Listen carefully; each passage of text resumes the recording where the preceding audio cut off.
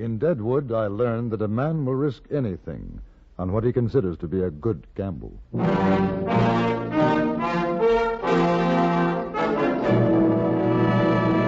Frontier Gentleman.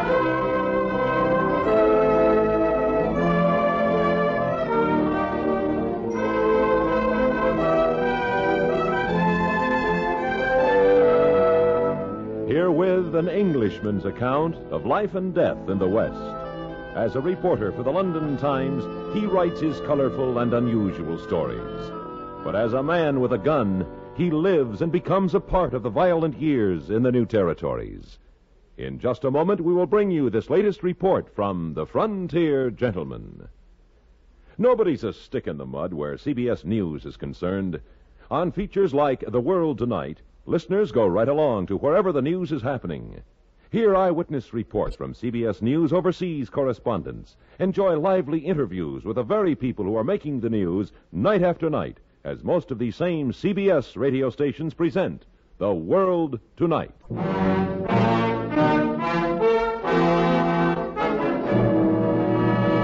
Now, starring John Dehner, this is the story of J.B. Kendall, Frontier Gentleman.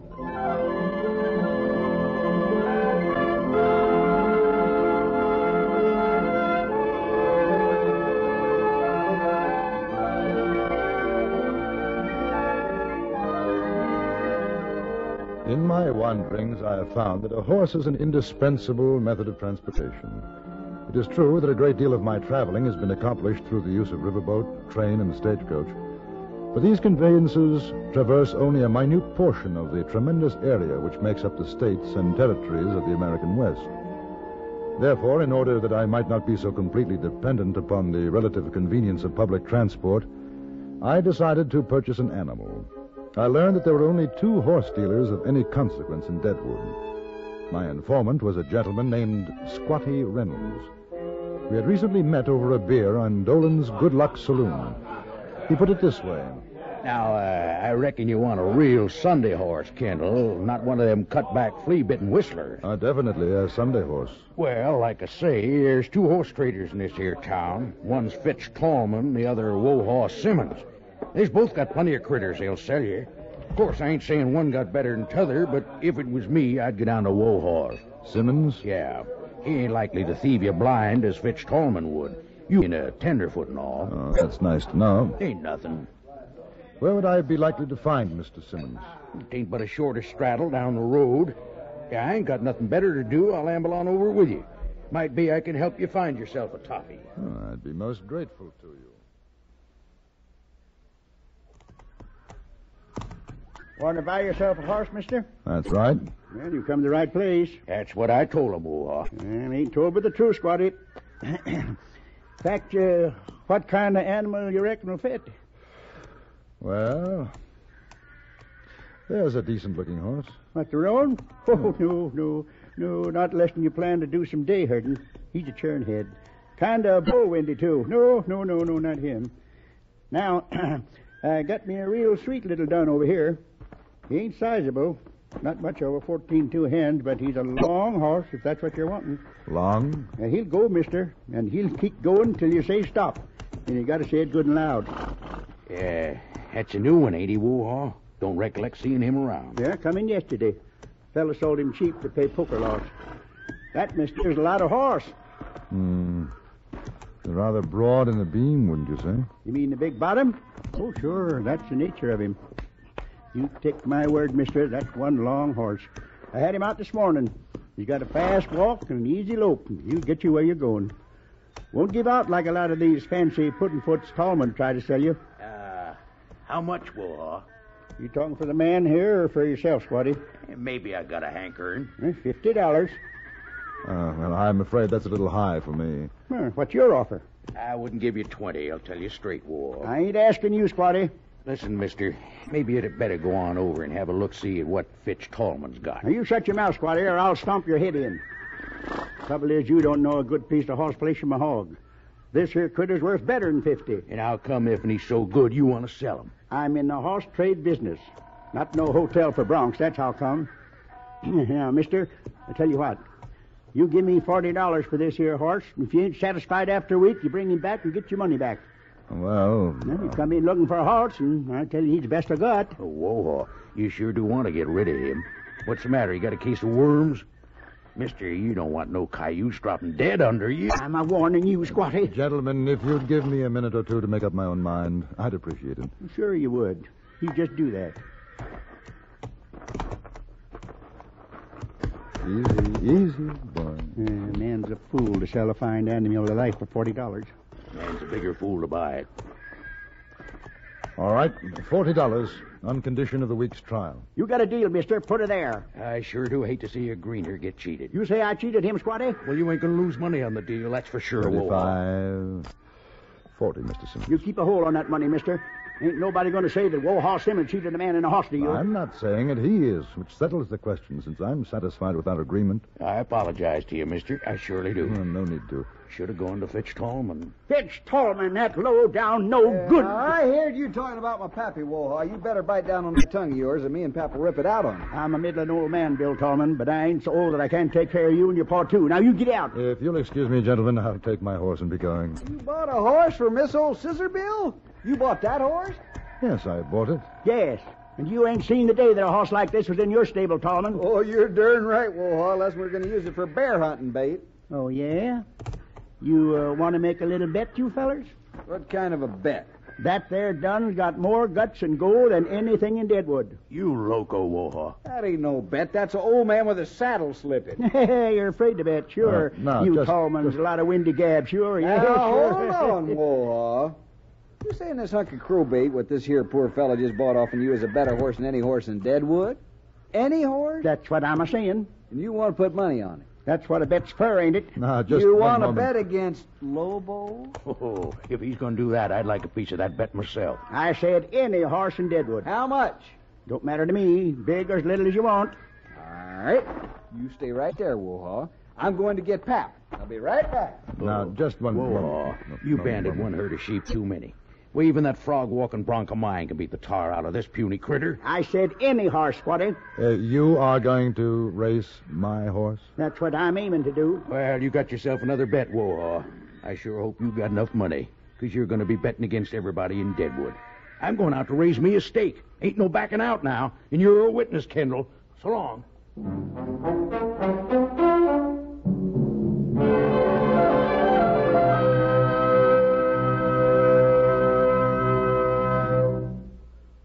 The voice is familiar, but can you remember the name? That's the problem confronting our star studded panel of experts each Sunday as most of these same stations present Says Who. Says Who is CBS Radio's fast moving guessing game with Henry Morgan as host. Add the rapid fire repartee of Morgan and his panel to the excitement of guessing the identity of the mystery voice, and you've got at least two barrels of fun rolling tonight and every Sunday night on CBS Radio's Says Who.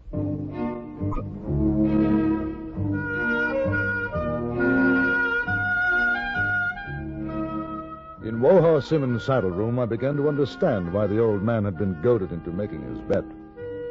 At that point, neither of us had any idea of the magnitude of what he had done. He went into great detail concerning the rivalry between his stable and that of Fitch Tallman. The fact that Tallman, without a doubt, possessed the fastest horse in the area. I was sympathetic, but I said, I don't exactly blame you, but I can't see the point in even holding the race. Well, if one thing can make it easier for you, Kendall. Sell me back the animal. And you'll race him yourself? Yeah, I figure.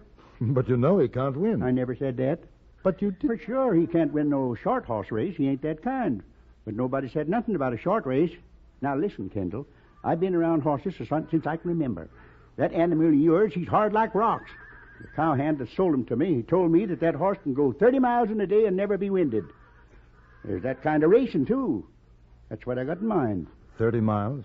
Near 300. Deadwood to Cheyenne. Go on. That little done. He, he won't be fast, but I reckon he can walk the legs off of anything that tries to go against him. You really think he's that good, huh? Well, I open my mouth wide enough, he'd better be. It'll cost me all I got if he ain't. I suppose they won't agree to a race of that distance. Oh, I ain't worried about that. It's what happens if I lose that's got me scared.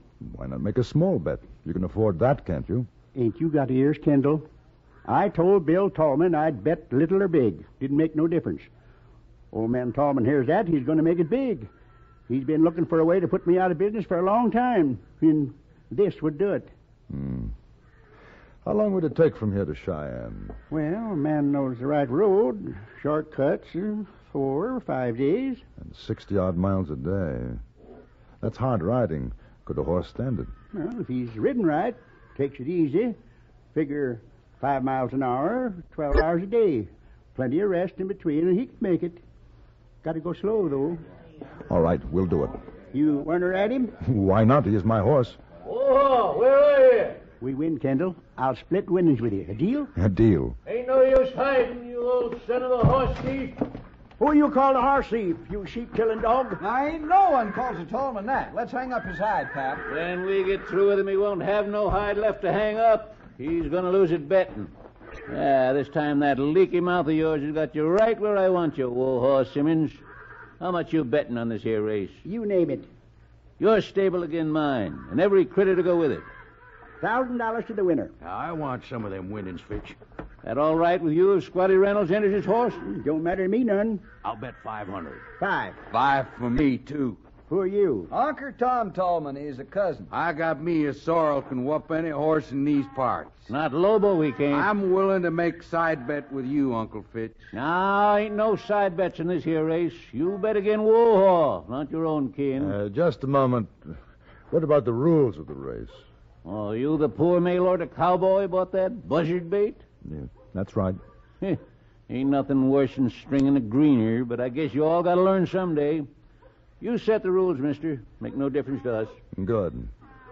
The race starts here in Deadwood, ends in Cheyenne. Man, that's a heap of racing. Now, today's Thursday. We got two days to get ready. The race will start Saturday morning, 6 o'clock. Got to be in Cheyenne no later than next Thursday. Uh, make that Wednesday midnight. Right, fair enough. Wednesday midnight. Four days, nine, ten, eleven, twelve. Four days, 18 hours. Anybody comes in after that loses. Well, suppose we all come in after that. Then all bets are off. Nobody wins. Now, uh, ain't no horse can make a run like that without proper feed and the like. Every rider can have somebody along to help. Helper drives a buckboard carrying feed, bedding, and chuck. A man can take any route he pleases between here and Cheyenne. Any he wants. Finish line's at the railroad depot. You gotta get somebody to ride ahead to Cheyenne to be there at the finish. Then tell the mayor he'll go. Yeah. Who's riding your nag, Woolhaw? I am. Kendall is the name. Now, which you figure's gonna drop dead first, the dude or his horse? Might as well pay up right now, Woolhaw. Hey, who's riding your horse, Tallman? My son is who? That's right, Pap. Now, I'll go along with the buckboard. Uncle Fitch, you reckon you can find me a helper? Oh, sure, Honker. We'll fix you up. Well, boys, I'm going out and make me a couple of side bets. This ought to be the easiest money I ever did make. You're absolutely right, boy.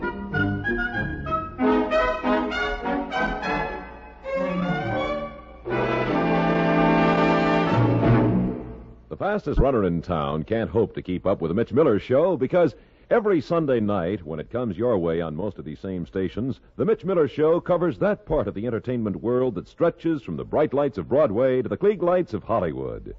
For another all out, all star variety edition of the Mitch Miller Show tonight, join us right here at the Star's address when Mitch puts out the welcome ad again.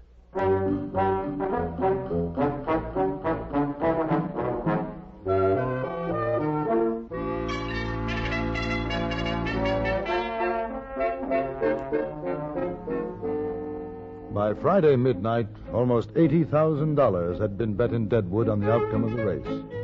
Gamblers were giving short odds on Fitch Tallman's horse Lobo, slightly longer on Squatty Reynolds' Blue Nose, six to one on cousin Tom Tallman's sorrel Jimmy Go, and, well, the odds on my horse were astronomical. An hour before the start of the race, Wohaw Simmons went over our plans.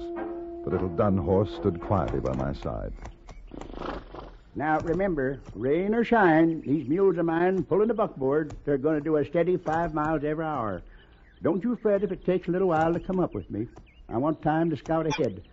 There's been some rain south a ways, and maybe I can find better trails for you to ride. Good. Now, remember, don't matter what the others do, Keep him at a walk. Oh, once in a while let him lope, but easy. Say, ain't you got a name for the animal? As a matter of fact, no. What did his last owner call him? Dogged if I know. well, I had a horse once in India. His name was Khyber. How would that do? Well, don't mean much, but it's your horse. Now, I figure you'll race until about noon. That ought to put you still a few miles this side of Wyoming territory. I'll set up camp on the road. Take an hour to rest up, rub down the horse, give him some good feed, and get some grub for yourself.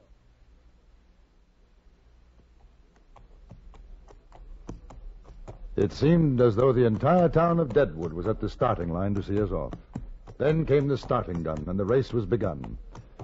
The Tallman's Bill and Honker Tom were off in a great swirl of dust. Squatty Reynolds took off at an easier pace, but was soon out of my sight. According to our plan, I walked Khyber for the first three or four miles, then let him go into an easy lope. I stopped a few times, once to adjust the cinch and again to remove a pebble which had lodged in the pony's shoe, luckily causing no damage. A few minutes before noon, I saw Wohaw Simmons with his buckboard drawn up at the side of the road. How's he coming? Uh, fine. Ugh. You cried a horse. Yeah, that's what I told you. All right, let's get that saddle off him. All right. Yeah. Hold still, boy, now. Hold still, darn you. Any sign of the others? Well, Squatty Reynolds went through about half hour back. Father got a pretty good start, but that don't mean nothing.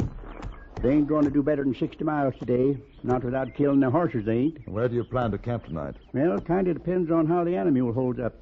I think we ought to make Jenny's stockade uh, well, good enough for the first day. How far is that?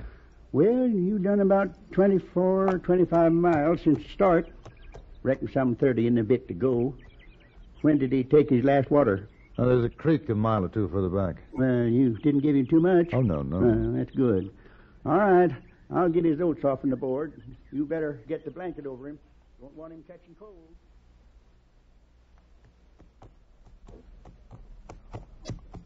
An hour and a half later, I was once more on my way.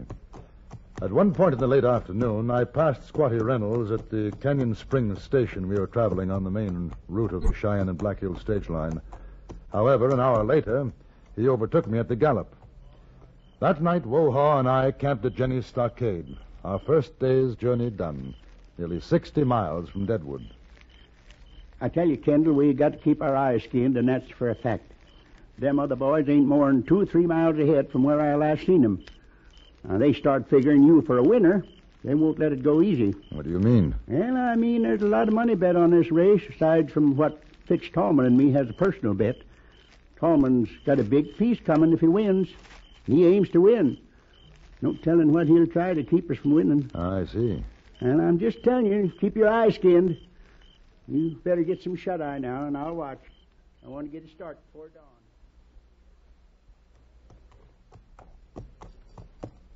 Sunday, Monday, Tuesday night. Although I had maintained Khyber's steady, slow pace, there was no more than five miles separating the four of us. We had ridden over 200 miles now, and to this point my horse had shown little effect. On the other hand, I had once again passed Squatty Reynolds on his big roan Blue Nose. He seemed to be limping quite badly. I had not yet caught up with Wohaw's buckboard and the evening camp which we had planned for Chugwater. I stopped to cross a stream when from the gathering shadows I saw two horsemen approach. I made out the sorrel Jimmy Go and Billy Tallman's jet black Lobo. How's it going, Kendall? Very well, thank you. And with you? All right. Uncle Tom and me, uh, we figured you was close behind. We waited for you. Yeah, we surely did. We wanted to have talk with you before you made camp with old Woolhall. Oh, ride along with me. We can camp together. Well, what we got to say ain't for Woolhall's ear, see? No. Well, you don't need to bother about the old man. My pap, he'll make it worthwhile if you take it real easy and don't try no more to win this here race. Of course, you ain't going to know how, 'cause that Lobo of Bill's, he's got enough left to run that critter of yours clean under the ground. So there's no sense you trying, is it? We figured it'd be worth five hundred dollars if you quit about now. uh, very generous of you, gentlemen, but I must decline your offer. I stand to earn quite a bit more by winning. But you ain't got a chance. Yeah, well, we'll just have to try. That's all. Uh, you wouldn't want no accident to happen to that runty nag of yours, would you? I most certainly wouldn't. Well, I sure hope it doesn't. Come on, Honker. Sure hope that horse don't break its leg or nothing.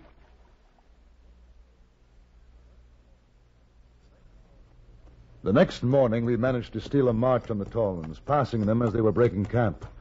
Wohaw rode along with me for a way in the buckboard. This is the big one today, Kendall. Don't change the pace. Don't rush him. I won't. It's Lobo you gotta watch. He's always got something left in the short race, and I'm figuring he'll have it for this one. What about Jimmy Go and Blue Nose? Oh, Squatty's through. Jimmy Go won't last. It's that Lobo I'm worried about.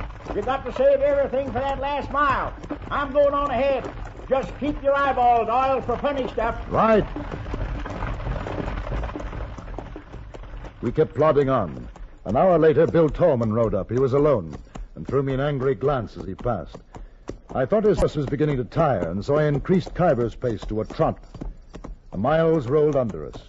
We rested, went on, rested again, and now it was evening. I began to see riders on the road. Some had come out from Cheyenne to bring us in.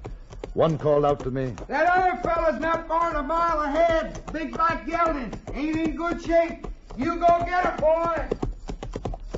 At 11 o'clock, I caught up with Wohaw again. He was riding at six miles, waving at me frantically. Cheyenne's right ahead. Three miles to the depot. Where's Tallman? Last I seen, maybe half a mile or less. Fitch is with him. Watch out for dirty business when they try to pass. But wait, wait until the last quarter before you do it.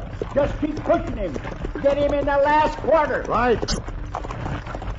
We were at the outskirts of Cheyenne proper when we caught up to Lobo. Fitch Tallman was driving his buckboard.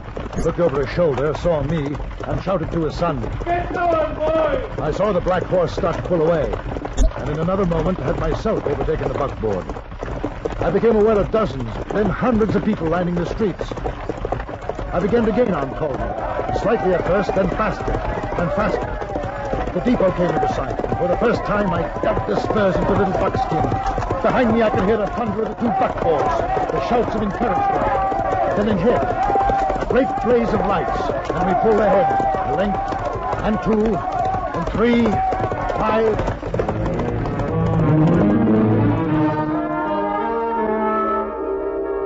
I heard that almost a $100,000 changed hands after that race. Wohaw Simmons collected his winnings from Fitch Tallman and is now the sole owner of Simmons Livery and Stables in Deadwood, Dakota Territory. I was content to accept my share in cash, which amounted to a very handsome $2,000, a sum which brought me both luck and some misfortune, of which I shall write more in my next report to the London Times.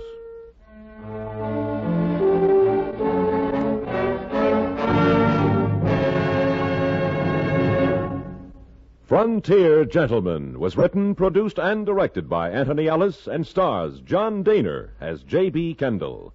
Featured in the cast were Ralph Moody, Jack Moyles, William Allen, Will Wright, and Vic Perrin.